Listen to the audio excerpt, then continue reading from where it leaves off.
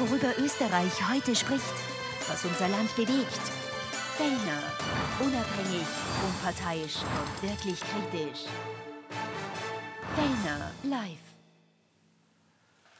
Ja, und wir starten Fellner Live heute natürlich mit dem großen Thema des Tages. Und das sind nach wie vor die Flammen, die sogenannte Feuerhölle von Rhodos, von der griechischen Ferieninsel, wo mittlerweile 19.000 Menschen evakuiert wurden, weil ein Flammenmeer von Westen Richtung Osten sich auf diese Ostküste und die dort befindlichen Hotels zubewegt und von Tag zu Tag gefährlicher wird. Der, äh, der, griechische Ministerpräsident hat gesagt, drei Tage wird diese Feuerhölle auf Rhodos noch mindestens andauern. Drei Tage noch Wahnsinnshitze und extrem gefährliche Winde. Und mittendrin, als derzeit einziger Reporter Österreichs auf dieser Feuerinsel, könnte man fast sagen, in der sogenannten Feuerhölle, unser rasender Reporter Mike Vogel. Mike, freut mich, Verbindung mit dir zu haben. Hallo.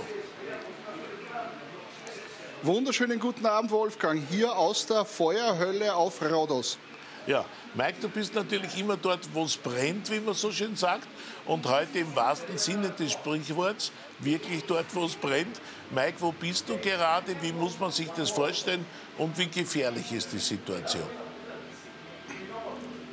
Ja, ich bin jetzt in Lardos. Das ist ein kleiner Ort an der Ostküste im Landesinneren. Ich bin jetzt circa 20 Kilometer entfernt von der Feuerfront. Ich war jetzt dort, habe mir das angeschaut, habe auch mit vielen Leuten gesprochen und es ist wirklich tragisch, was da passiert. Es versuchen alle hier zu helfen, zu löschen. Nicht nur die Feuerwehr, es sind auch internationale Löschhubschrauber und Löschflugzeuge da, die wirklich im Minutentakt große Mengen an Meerwasser, das sie dort aus dem Meer holen, eben dort abwerfen. Aber wie gesagt, der Wind ist extrem stark und es ist natürlich irrsinnig schwierig, äh, dieses, diese Feuerwalze unter Kontrolle zu bekommen. Aber es wird gemacht, was man machen kann. Das Wichtigste wäre jetzt natürlich noch, dass auch andere Länder äh, da mithelfen und Löschflugzeuge schicken. Da ist auch natürlich das österreichische Bundesheer wäre da gefragt oder auch private äh, Firmen in Österreich wie die Firma Knaus, äh, die ja äh, weltweit in Löscheinsätzen ist und da sehr viel Erfahrung hat. Und auch das Bundesheer hat ja jetzt einige neue Helikopter. Da wäre es natürlich einfach, wenn die auch hierher kommen würden und bei dieser Feuerwalze, bei diesem wirklich Feuerwahnsinn da die Feuerwehrleute hier vor Ort unterstützen würden. Die Frage, Mike, ist ja, warum kriegen die Griechen das nicht unter Kontrolle? Warum ist es nicht möglich, äh, diese äh, Feuerlinie zumindest einzudämmen? Wie viele Kilometer ist denn diese Feuerfront? Und äh, wie sehr bewegt sie sich vorwärts? Und gibt es erste Löscherfolge oder wird es in Wahrheit, wie der Ministerpräsident gesagt hat, leider immer dramatischer? Ja, es wird dramatischer. Das Hauptproblem hier sind die starken Winde. Es bläst wirklich dauernd ein starker heißer Wind und der entfacht das Feuer immer wieder. Und dieses Feuer ist ja nicht nur an einer Stelle, sondern auch an mehreren. Und das ist auch an mehreren Stellen ausgebrochen. Und aus dem Grund munkelt man hier, dass es eben Brandstiftung gewesen sein könnte. Aber das sagen äh, auch die Menschen, die hier wohnen, nur hinter vorgehaltener Hand. Und sie trauen sich das nicht so, so offen zu sagen. Aber es brennt eben mitten im Land, in den Bergen, in unwegsamen Gelände. Es sind natürlich auch kleine Ortschaften, vereinzelt Häuser und Dörfer dort. Äh, und da versucht man natürlich, das Feuer fernzuhalten. Ich habe gesehen, es sind Bagger dort, die schneisen äh, äh, vor den, vor den Häusern hier aufgraben. Es ist jeder, der irgendwie helfen kann, hier dabei und hilft. Die ich habe gesehen Pickups mit Wasserkanistern, mit Frischwasser für die Feuerwehrleute. Äh, die, die LKWs werden umgebaut mit irgendwelchen alten Öltanks, nur dass man eben Wasser drinnen transportieren kann, dass eben die Feuerwehr dann dort wieder auffüllen kann, ihre Tanklöschzüge und dort eben das Feuer bekämpfen kann. Ja, wir sehen also hier jetzt die Bilder, haben wir gesehen, wie du auf dieses Feuer zugefahren bist. Als nächstes wäre ganz nett, man würde uns die Bilder zeigen von der eigentlichen Feuerfront, wie es wirklich brennt. Das ist ja unglaublich heiß dort und es ist unglaublich dramatisch, richtig? Ja, wie gesagt, äh, die Temperaturen laut meinem Autothermometer, da war ich nicht direkt an der Feuerfront, wie ich das gesehen habe, waren 48 Grad. Auch einem äh, Kollegen vom norwegischen Fernsehen, da hat sich schon die Kamera deformiert. Es ist ja wirklich äh, extrem schwer dort zu arbeiten und natürlich auch zu atmen, denn die Luft ist brennheiß, das merkt man auch richtig. Es sind überall diese Brandpartikel in der Luft und da fällt das Atmen schwer.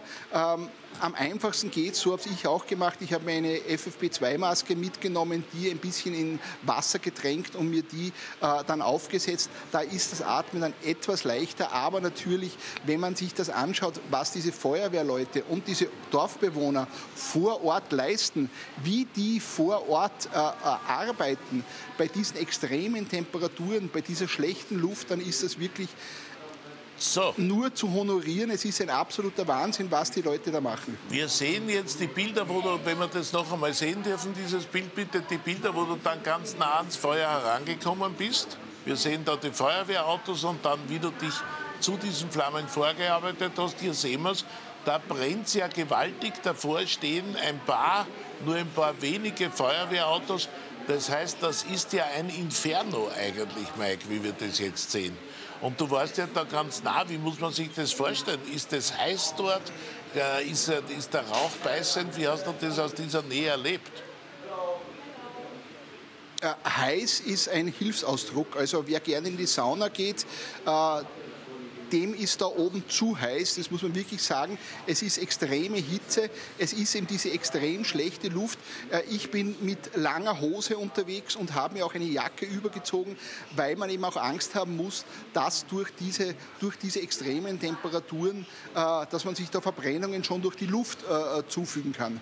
Hast du Angst gehabt, wie du so nah am Feuer warst? Kriegt man da ein bisschen Panik oder äh, war es so, dass man gesehen hat, so schnell marschiert das nicht nach vorne. Ich habe trotz allem meinen Sicherheitsabstand eingehalten. Ähm, man hat, ich habe keine Angst, aber ich habe Respekt auf jeden Fall. Es muss immer der Fluchtweg offen sein und wenn man mit den Menschen vor Ort, die das Feuer bekämpfen, spricht, dann erfährt man auch, bis hierher nicht weiter. Die helfen eh oder die sagen auch, da geht es nicht mehr weiter.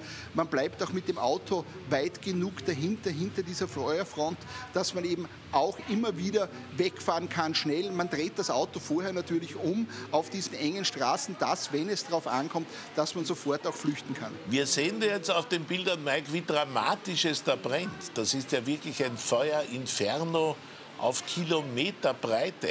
Das heißt, dieses Ding ist ja eigentlich nicht zu stoppen, oder? Schwierig. Es ist absolut schwierig. Durch die extremen hohen Temperaturen, durch diese Winde ist es extrem schwierig.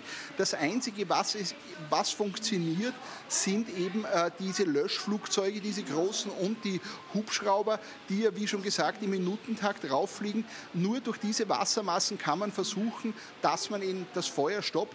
Aber auch wenn man durch das Gebiet fährt, äh, wo es gestern oder vorgestern gebrannt hat, immer wieder lodern kleine Flammen auf bei Baumstümpfen. Da brennt wieder mal ein Baum, obwohl das schon abgelöscht wurde. Dann kommen die Dorfbewohner mit Spritzen und versuchen natürlich auch dieses wiederaufkommende Feuer sofort im Keim zu ersticken. Mike, äh, wir sehen da jetzt auch, da ist ja eine Ortschaft praktisch vom Feuer eingekesselt, sehen wir auf deinen Bildern. Was hast du denn an diesem ersten Tag alles an Schicksalen erlebt? Da sind ja vermutlich einige Häuser schon dem Erdboden gleichgemacht worden, oder?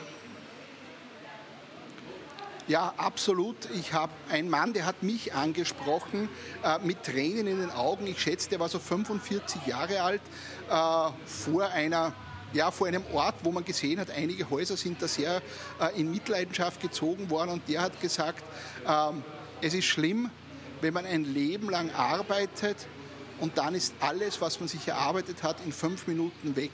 Und dieser Mann, dieser Gesta ein gestandenes Mannsbild, ein gestandener Grieche, der hatte wirklich Tränen in den Augen. Und wenn man so etwas sieht, dann weiß man, wie es den Menschen hier geht. Aber trotzdem helfen sie noch immer alle zusammen. Aber nicht nur die Griechen äh, vor Ort helfen zusammen, sondern auch die Touristen. Und das ist das Schöne.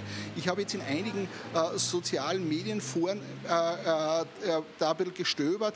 Da gibt es Hilfsaktionen von Urlaubern, da gibt es Hilfsaktionen von Deutschen, die hier wohnen, die dann äh, Elektrolyt Elektrolyte sammeln, dass sie Getränke machen können, eben für die Feuerwehrmänner, damit sie eben länger durchhalten und damit sie eben die wichtigen Vitamine und Elektrolyte, die der Körper ja bei diesem heißen Job verbraucht, schnell wieder nachfüllen können im Körper und wieder schnell regenerieren.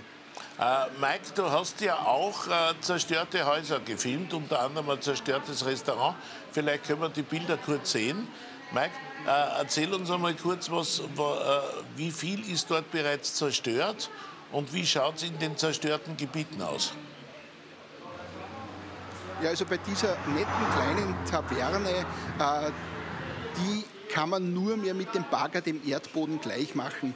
Da hat man auch gesehen, heraus, der ganze Vorbau ist nur mehr Schutt und Asche. Äh, man sieht noch Reste von Sesseln, man sieht noch Reste von einem Ventilator dort. Ähm, das Einzige, was vielleicht noch zu verwenden ist, ist der Steinbackofen für die Pizza oder fürs Fladenbrot. Der war nämlich im rechten Bereich des Restaurants. Aber sonst, wie gesagt, äh, will kann man da nichts mehr machen. Und diese Sachen passieren öfters. Man sieht auch immer wieder Häuser, wo ein Auto daneben gestanden ist, was abgebrannt ist. Das Haus hat es einigermaßen überlebt, aber natürlich alles rundherum ist komplett kaputt abgebrannte Autos, abgebrannte Motorräder. Und wenn man eben durch die Gegend fährt und sich das anschaut, dann weiß man auch, dann sieht man auch, es gibt keinen Strom mehr. Denn die ganzen Strommasten, die ja da quer durch die Landschaft gehen, die sind alle abgebrannt. Ich bin unter hängenden äh, Stromleitungen durchgefahren mit dem Auto. Das ist sich gerade ausgegangen, aber mir hat vorher die Feuerwehr gesagt, die sind abgeschalten, Gott sei Dank. Aber es ist ein Wahnsinn, überall hängen nur mehr diese Keramikmodule für die Isolierung herum und der Rest ist weg. Der ganze Strommasten ist weg und aus dem Grund haben die eben momentan kein Internet, weil sie keinen Strom haben, haben keinen Strom. Teilweise wird aus den Supermärkten, aus den Märkten das äh, äh, gefrorene Material weggekarrt. Äh, was man noch retten kann, wird gerettet. Die äh, Hotels ist alles verschlossen, versperrt. Es gibt keine Klimaanlagen. Das ist natürlich das nächste Problem, weil, wie gesagt, bei Temperaturen äh, um die 40 Grad ist es natürlich dann auch äh, schwierig, in einem Gebäude zu, zu sein, wo es genau diese Temperaturen dann auch im Inneren hat. Ja. Mike, wir sehen da deine Bilder, die du ja da gefilmt hast heute, unglaublich dramatisch von den zerstörten Autos, den äh, zerstörten Restaurants, den zerstörten Häusern und von diesen riesigen Rauchfahnen.